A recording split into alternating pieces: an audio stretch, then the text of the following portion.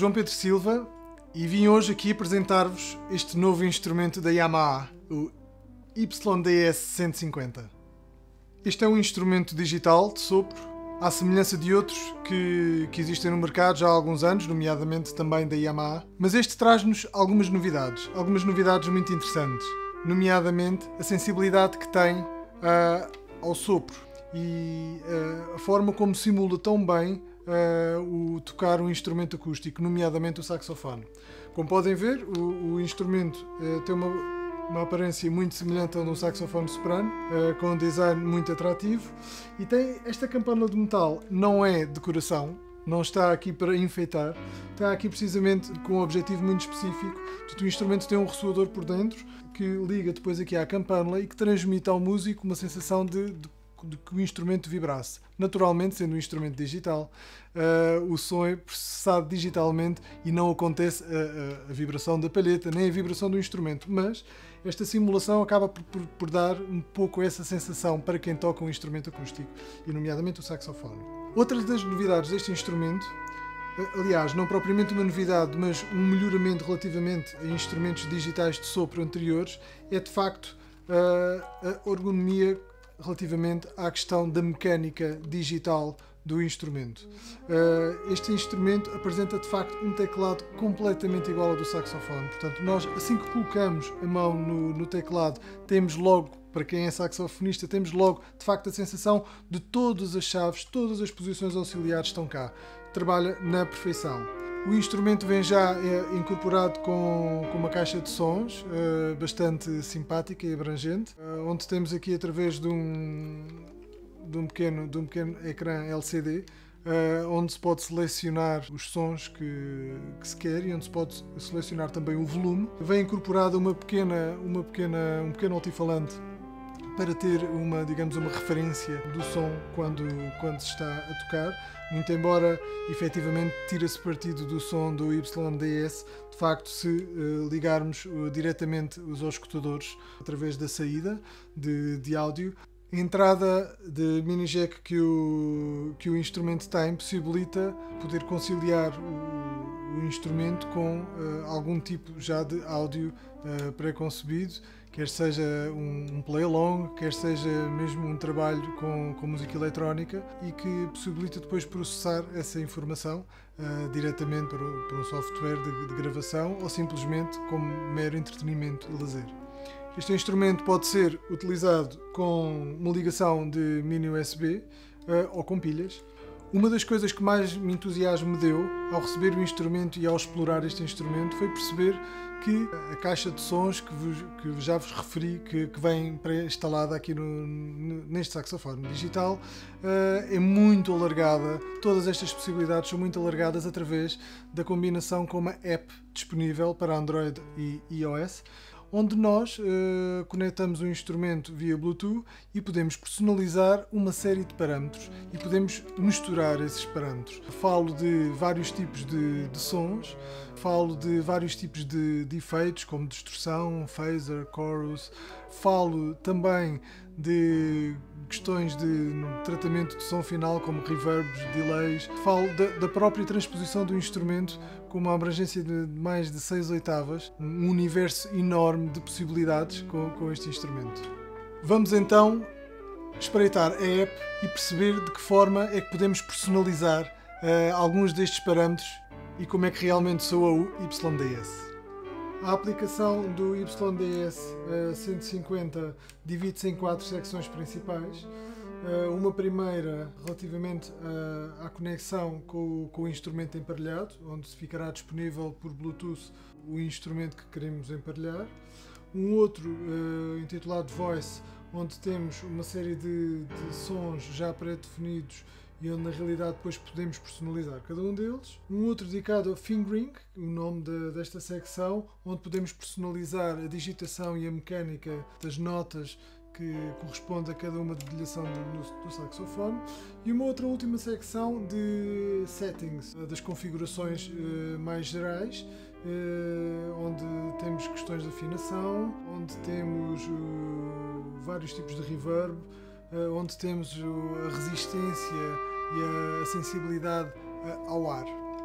Então vamos, vamos à, primeira à segunda secção, à secção das, das vozes, e vamos perceber o que é que é, esta app nos tem para oferecer. Eh, eu, como podem ver, tenho já aqui alguns uh, sons pré-definidos por mim e, e com, intitulados por mim, portanto eles vêm todos com U traço 1, U traço 2. Vou entrar no meu primeiro que diz barítono. Uh, aqui nós podemos encontrar primeiro uma seleção para escolhermos o, a que grupo uh, de sons é que vamos escolher e temos aqui então as quatro principais secções relativ relativamente aos saxofones, ao saxofone alto, soprano, tenor e barítono e depois o grupo dos sintetizadores.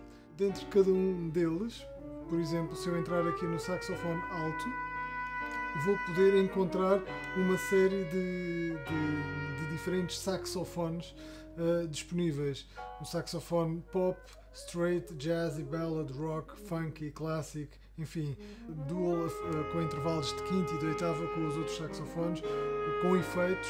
Portanto, podemos selecionar e personalizar de uma forma muito variada o som que, o som que realmente queremos. De seguida em baixo podemos uh, personalizar a tonalidade é que queremos que o nosso instrumento toque. Podemos transpor eh, e, como eu disse há pouco, temos uma amplitude muito grande, uma tessitura muito grande, eh, transformando este instrumento quase desde, quase não, desde uma tuba a um piccolo. Depois temos as definições de cada uma das, das vozes, onde nós podemos uh, selecionar o volume que queremos que tenham, onde podemos escolher os efeitos. Tem uma série de efeitos disponíveis, várias distorções, o chorus, o flanger, o phaser, o tremolo, Uh, temos uma série deles que podemos, que podemos usar. O controlador analógico também, aqui do, do polegar esquerdo, que podemos uh, aqui controlar e dizer o que é que ele realmente vai fazer e em que medida é que, é que vai fazer. Vamos então aqui para perceberem melhor o, o, resultado destas combinações, que podem ser, como já perceberam, muitíssimas. Neste banco de sons pré-definidos, eu já tenho aqui alguns personalizados por mim. Um dos, um dos que eu acho realmente mais piada, e eu acho que eh, neste caso concreto consegue aproximar-se de uma forma bem conseguida ao original, é o saxofone barítono. Estou no, no saxofone barítono, que já está na, na tonalidade certa, e vamos, vamos ouvir um bocadinho como é que soa. Thank you.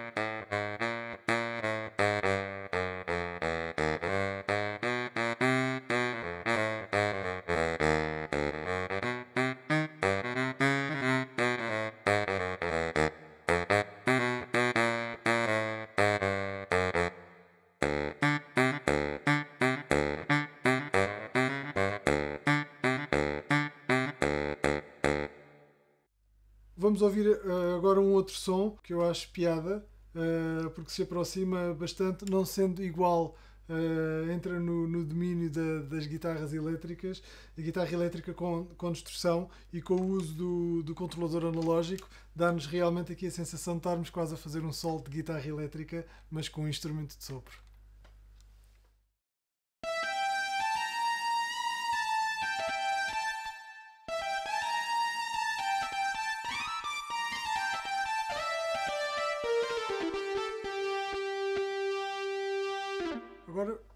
Vou escolher uma flauta, portanto, a traz-nos aqui a possibilidade de ouvirmos uh, algumas uh, flautas diferentes, panpipes, Irish pipes, o sakuashi. Vou escolher o sakuashi, que é uma, uma flauta que eu gosto particularmente, a flauta japonesa. E, e, ouvir também uh, a particularidade da articulação que, que todos estes sons possibilitam.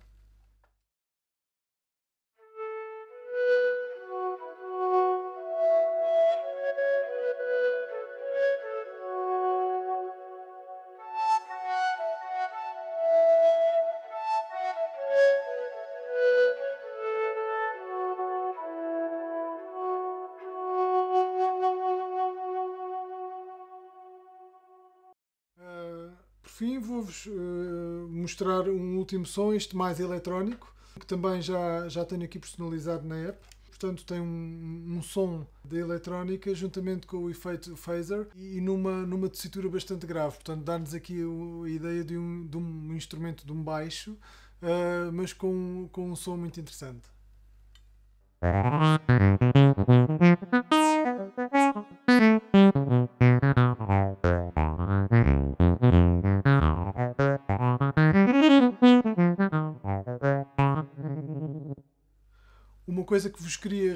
Mostrar e que falei há pouco na, na introdução que fiz, de facto, é a sensibilidade que este instrumento tem ao ar. Como disse também, eh, na aplicação nós podemos controlar essa mesma sensibilidade. O instrumento pode ter uma maior ou menor sensibilidade ao ar. Eh, eu gosto que tenha uma, uma boa sensibilidade para que se possa eh, controlar bem a questão da dinâmica e nomeadamente do vibrato. E isto é muito interessante porque e principalmente para nós os saxofonistas normalmente, enfim, o, o vibrato tradicionalmente faz-se com o maxilar uh, e aqui isso é impossível. Portanto, um instrumento digital, isto, a boquilha aparece aqui, a palheta, para nos dar, digamos, este conforto e esta sensação de estarmos a tocar o nosso instrumento. Uh, mas estamos a falar de facto na questão da quantidade e da, e da velocidade de, a que superamos. E então vou-vos dar aqui um pequeno exemplo, com, vou escolher aqui um, um som onde isso pode sentir mais uh, e utilizar esta questão da dinâmica e do vibrato e que de uma forma, já, pelo menos para mim, uh, me faz sentir uh, muito próximo do que é a experiência de tocar e de ouvir um instrumento acústico.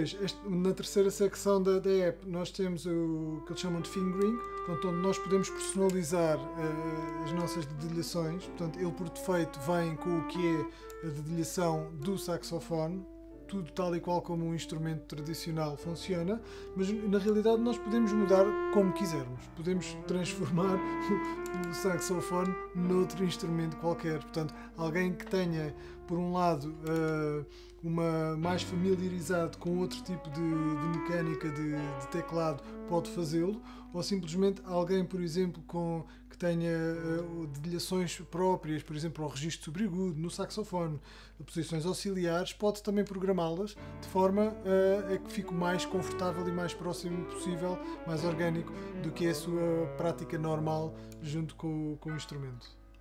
A quarta secção da, da app é dedicada às definições temos muitos parâmetros diferentes, alguns são realmente importantes e vale a pena referir. Um sobre a afinação, temos uma amplitude que vai desde os 427 Hz até aos 453, podemos fazer música barroca e, e sei lá mais o quê, portanto temos uma capacidade grande. Temos uma, um, um parâmetro que nos possibilita dar resposta à questão da, da digitação, ou seja, se nós, se nós uh, carregamos numa chave e o, o, tempo de demora na latência na, na, resposta, o que é também muito interessante. Temos uma série de reverbs disponíveis que podemos, que podemos escolher. Temos o tal uh, a sensibilidade à, à, quantidade, à velocidade do ar uh, que podemos selecionar também. E, e, portanto, e depois temos uma série de outras questões, do manual, tutorial, enfim. Basicamente é dar-nos uh, esta paleta grande de, de possibilidades Uh, para não falar no facto de o YDS poder estar de facto conectado a uma, uma, um banco de sons e, e, poder fazer, enfim, um mundo. E é isto. O YDS é um instrumento para músicos profissionais, é um instrumento para músicos amadores, é um instrumento para quem queira realmente usufruir de uma experiência nova. Espero que tenham gostado e até já!